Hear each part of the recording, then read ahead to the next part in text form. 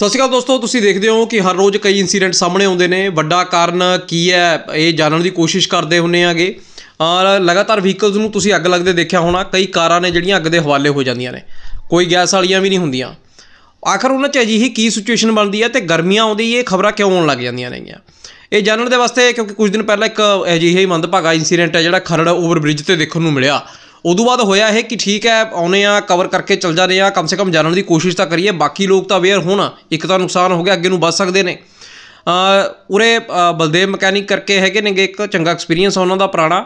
ਜਦੋਂ ਉਹਨਾਂ ਨੇ ਅੱਗੇ ਇਹ ਗੱਲ ਕਰੀ ਵੀ ਆਖਰ ਭਾਈ ਇਹ ਹੁੰਦਾ ਕਿਉਂ ਆ? ਤਾਂ ਉਹਨਾਂ ਨੇ ਕਈ ਰੀਜ਼ਨ ਦੱਸੇ। ਉਹ ਰੀਜ਼ਨ ਦੇ ਵਿੱਚ ਜੇ ਕਿਹਾ ਜਾਵੇ, ਵੱਡੇ ਤੌਰ ਤੇ ਇੱਕ ਚੀਜ਼ ਇਹ ਵੀ ਨਿਕਲ ਕੇ ਸਾਹਮਣੇ ਆਈ ਕਿ ਕਈ ਕੁਝ ਕੁ ਗਲਤੀਆਂ ਹੋ ਸਕਦਾ। ਦੇਖੋ, ਰੱਬ ਦਾ ਪਾਣਾ, ਜਿਵੇਂ ਕਹਿੰਦੇ ਨੇ ਵੀ ਕੁਦਰਤੀ ਤੌਰ ਤੇ ਕੋਈ ਚੀਜ਼ ਹੋ ਜੇ ਪਤਾ ਨਹੀਂ ਲੱਗਦਾ। ਪਰ ਜਿਹੜੀਆਂ ਐਸੀ ਆਪਦੀ ਗਲਤੀਆਂ ਕਰਦੇ ਆ ਉਹ ਕਮ ਸੇ ਕਮ ਅਸੀਂ ਬਚਾ ਸਕਦੇ ਆ, ਬੋਝ ਸਕਦੇ ਆ ਉਹਦੇ ਤੋਂ। ਉਹ ਕੀ ਨੇ, ਇਹ ਮੈਂ ਤਾਂ ਸਾਂਝੀਆਂ ਕਰ ਰਿਹਾ ਵੀ ਸਾਰੇ ਵੀਰ ਇਸ ਪਾਸੇ ਧਿਆਨ ਦਿਓ, ਕਿਉਂਕਿ ਇਹ ਗਲਤੀ ਕਹਿ ਲਓ ਜਾਂ ਕਹਿ ਲਓ ਕਿ ਇਸ ਤਰ੍ਹਾਂ ਦੀਆਂ ਚੀਜ਼ਾਂ ਹਰ ਕਿਸੇ ਦੇ ਨਾਲ ਵਿਚਰਦੀਆਂ ਨੇਗੀਆਂ ਜਾਂ ਵਿਚਰ ਸਕਦੀਆਂ ਨੇਗੀਆਂ। ਕ- ਕਿਉਂ ਕਹਿ ਰਿਹਾ ਮੈਂ? ਜ਼ਿਆਦਾਤਰ ਦੇਖਿਆ ਜਾਵੇ, ਬਹੁਤ ਘੱਟ ਲੋਕ ਨੇ ਜਿਹੜੇ ਓਰੀਜਨਲ ਗੱਡੀ ਜਦੋਂ ਸ਼ੋਰੂਮ ਤੋਂ ਲਿਆਉਂਦੇ ਨੇ, ਉਹ ਉਸੇ ਤਰ੍ਹਾਂ ਦੇ ਨਾਲ ਰੱਖਦੇ ਨੇ। ਬਲਕਿ ਸੀਟ ਕਵਰ, ਨਾਲ ਜਿੰਨੀ ਵੀ ਐਸੈਸਰੀ ਆ, ਉਹ ਬਹੁਤ ਲੋਕ ਲਗਾਉਣ ਦੇ ਸ਼ੌਂਕੀ ਹੁੰਦੇ ਨੇ, ਸਭ ਤੋਂ ਵੱਡੀ ਗੱਲ ਐਂਪ ਦੀ ਹੈ।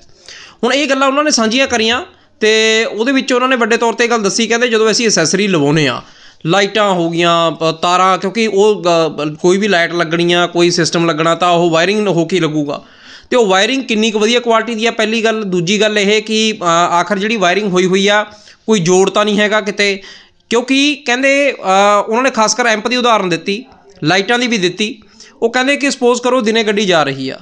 ਪਹਿਲਾਂ ਤਾਂ ਹੀਟ ਐਨੀ ਹੋ ਗਈ ਉਹ ਤੇ ਜਾ ਕੇ ਜਦੋਂ ਪੱਖਾ ਚੱਲਣਾ ਸ਼ੁਰੂ ਹੋ ਗਿਆ, ਯਾਨੀ ਕਿ ਰੇਡੀਏਟਰ ਚੱਲ ਪਿਆ, ਜਦੋਂ ਅੱਗੇ ਰੇਡੀਏਟਰ ਵਾਲਾ ਪੱਖਾ ਚੱਲ ਪਿਆ, ਤਾਂ ਉਹਦੇ ਤੇ ਵੱਡੇ ਤੌਰ ਤੇ ਗੱਲ ਦੇਖਣ ਨੂੰ ਇਹ ਆਉਂਦੀ ਆ ਕਿ ਜਦੋਂ ਇਹ ਚੀਜ਼ਾਂ ਚੱਲਦੀਆਂ ਨੇ, ਤਾਂ ਉਹਦੇ ਨਾਲ ਨੁਕਸਾਨ ਇਹ ਹੁੰਦਾ ਕਿ ਜਦੋਂ ਉਹ ਰੇਡੀਏਟਰ ਚੱਲ ਰਿਹਾ, ਤਾਂ ਜਦੋਂ ਉਹ ਗਰਮੈਸ਼ ਲੈਣੀ ਆ, ਤਾਂ ਫਿਰ ਜਿਹੜਾ ਐਂਪ ਹੈ ਤੁਹਾਡਾ ਜਾਂ ਕੁਝ ਹੋਰ ਆ, ਉਹਦੇ 'ਚ ਵੀ ਵੱਡੇ ਤੌਰ ਤੇ ਸਮੱਸਿਆ ਇਹ ਆਉਂਦੀ ਹੈ ਤੇ ਤੋਂ ਬਾਅਦ 'ਚ ਅੱਗ ਲੱਗਣ ਦੀ ਖਤਰਾ ਵੱਧ ਜਾਂਦਾ, ਕਿਉਂ ਹੀਟ ਅਪ ਦੋਨੇ ਪਾਸੇ ਹੁੰਦੀ ਆ।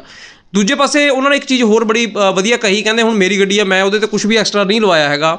ਜੇ ਕੱਲ ਉਹਦੇ ਤੇ ਕੁਝ ਐਕਸਟਰਾ ਲਵਾਉਂਗਾ, ਤਾਂ ਉਹਦੇ 'ਚ ਵੱਡੀ ਪਰੇਸ਼ਾਨੀ ਇਹ ਖੜੀ ਹੋ ਸਕਦੀ ਆ ਕਿ ਕਿਤੇ ਨਾ ਕਿਤੇ ਜਦੋਂ ਕੱਲ ਨੂੰ ਉਹਨੇ ਹੀਟ ਅਪ ਹੋਣਾ, ਤਾਂ ਜਦੋਂ ਅੱਗ ਉਹਨਾਂ ਨੂੰ ਲੱਗਣੀ ਆ, ਤਾਂ ਪਤਾ ਨਹੀਂ ਅਗਲੇ ਨੂੰ ਲੱਗਦਾ ਹੈਗਾ। ਜ਼ਿਆਦਾਤਰ ਉਹਨਾਂ ਨੇ ਕਿਹਾ ਵੀ ਤਾਰਾਂ ਨੇ ਜਿਹੜੀ ਤੁਸੀਂ ਐਕਸਟਰਾ ਉਹ ਨਾ ਲਵਾਓ। ਇਸ ਕਰਕੇ ਇਹ ਚੀਜ਼ ਜਾਣਨੀ ਬੜੀ ਜ਼ਰੂਰੀ ਸੀ। ਕਿੰਨਾ ਕਾਰਨਾਂ ਕਰਕੇ ਇਹ ਅੱਗਾਂ ਲੱਗਦੀਆਂ ਨੇ?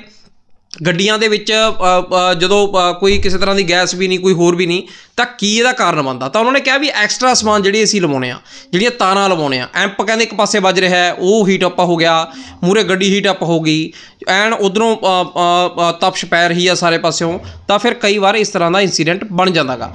ਤਾਂ ਇਸ ਕਰਕੇ ਆਪਾਂ ਇਸ ਗੱਲ ਦਾ ਧਿਆਨ ਰੱਖਿਆ ਕਰੀਏ ਵੀ ਜੇਕਰ ਅਸੀਂ, ਉਹ ਕਹਿੰਦੇ ਵੀ ਲਵਾਉਣਾ, ਇਹ 'ਚ ਕੋਈ ਨਹੀਂ ਵੀ ਲਵਾਓ ਨਾ, ਉਹ ਕਹਿੰਦੇ ਲਵਾਓ ਭਾਵੇਂ। ਪਰ ਉਹਦੀ ਵਾਇਰਿੰਗ ਪ੍ਰੋਪਰ ਹੋਣੀ ਚਾਹੀਦੀ ਆ, ਵਧੀਆ ਕੁਆਲਿਟੀ ਦੀ ਤਾਰ ਵਰਤੋ ਤੁਸੀਂ ਜਦੋਂ ਵੀ ਉਹ ਕਰੋ। ਫਿਰ ਕਹਿੰਦੇ ਇਹ ਤਾਂ ਤੁਸੀਂ ਇਹ ਲਾਓ ਵੀ ਜਿਵੇਂ ਹੁਣ ਸੈਂਟਰ ਲੌਕਿੰਗ ਹੁੰਦੀ ਹੈ ਕਹਿੰਦੇ ਕਈ ਵਾਰ ਉਹ ਲੌਕ ਹੋ ਜੇ, ਫਿਰ ਬੰਦਾ ਕੀ ਕਰੂਗਾ? ਇਸ ਕਰਕੇ ਛੋਟੀ ਛੋਟੀ ਚੀਜ਼ਾਂ ਰੱਖਣ ਦਾ, ਧਿਆਨ ਰੱਖਣ ਦੀ ਲੋੜ ਆ, ਤਾਂ ਕਿ ਜਿਹੜਾ ਅਸੀਂ ਆਪਦੇ ਸ਼ੌਕ ਵਾਸਤੇ ਸਮਾਨ ਲਵਾਉਣੇ ਆ, ਕਮ ਸੇ ਕਮ ਉਹ ਸਾਡੀ ਜਾਨ ਦਾ ਦੁਸ਼ਮਣ ਨਾ- ਨਾ ਬਣੇ। ਬਾਕੀ ਦਾ ਖੈਰ ਦੇਖੋ, ਕੁਦਰਤੀ ਚੀਜ਼ ਦਾ ਕਿਸੇ ਦਾ ਪਤਾ ਨਹੀਂ ਲੱਗਦਾ। ਤੇ ਵੀਰ ਮੇਰੇ ਜਰੂਰ ਇੱਕ ਦੂਜੇ ਨਾਲ ਜਾਣਕਾਰੀ ਸਾਂਝੀ ਕਰਿਓ ਕਿ ਕਿਉਂਕਿ ਐਸੈਸਰੀ ਅਸੀਂ ਵੱਧ ਤੋਂ ਵੱਧ ਲਵਾਉਣੇ ਆ, ਪਰ ਉਹਦੀ ਵਾਇਰਿੰਗ ਦੇ ਉੱਤੇ ਖਾਸ ਤੌਰ ਤੇ ਧਿਆਨ ਦੇਣ ਦੀ ਲੋੜ ਹੈ। ਉਹ ਕਹਿੰਦੇ ਕਿ ਇਹ ਚੀਜ਼ ਵੀ ਇੱਕ ਵੱਡਾ ਬਹੁਤ ਇਫੈਕਟ ਪਾਉਂਦੀ ਹੈ ਤੇ ਸਭ ਤੋਂ ਵੱਡੀ ਗੱਲ, ਟੈਕਸੀਆਂ ਵਿੱਚ ਤਾਂ ਅਸੀਂ ਦੇਖਦੇ ਹਾਂ, ਅੱਗ ਬੁਝਾਉਣ ਵਾਲੇ ਉਹ ਸਿਲੰਡਰ ਅਸੀਂ ਰੱਖੇ ਹੁੰਦੇ ਨੇਗੇ, ਕਿਉਂਕਿ ਉਹ ਜ਼ਰੂਰੀ ਨੇ। ਪਰ ਪ੍ਰਾਈਵੇਟ ਗੱਡੀਆਂ 'ਚ ਵੀ ਉਹ ਕਹਿੰਦੇ ਵੀ ਜੇਕਰ ਤੁਸੀਂ ਜਦੋਂ ਐਡੀ ਵੱਡੀ ਗੱਡੀ ਲਈ ਆ, ਛੋਟੀ ਆ ਭਾਵੇਂ ਗੱਡੀ, ਇੰਨੀ ਕੁ ਸਪੇਸ ਕਹਿੰਦੇ ਹਰੇਕ ਗੱਡੀ 'ਚ ਆ ਵੀ ਉਹ ਛੋਟਾ ਜਿਹਾ ਅਸੀਂ ਕਿਤੇ ਰੱਖ ਲਈਏ, ਕਿਉਂਕਿ ਸ਼ੁਰੂਆਤੀ ਦੌਰ ਦੇ ਵਿੱਚ ਅੱਗ ਬੜੀ ਥੋੜੀ ਹੁੰਦੀ ਆ ਤਾਂ ਬਾਅਦ 'ਚ ਵਾਦੀ ਵਾਦੀ ਹੁੰਦੀ ਹੈ, ਤਾਂ ਕਿ ਉਹਨੂੰ ਨਾਲ ਦੀ ਨਾਲ ਕਾਬੂ ਪਾ ਲਿਆ ਜਾਵੇ। ਇਸ ਕਰਕੇ ਬਹੁਤ ਜ਼ਰੂਰੀ ਆ ਕਿ ਅਸੀਂ ਜਿਹੜਾ ਸਿਲੰਡਰ ਅੱਗ ਬੁਝਾਉਣ ਵਾਲਾ ਉਹ ਨਾਲ ਜ਼ਰੂਰ ਰੱਖੀਏ।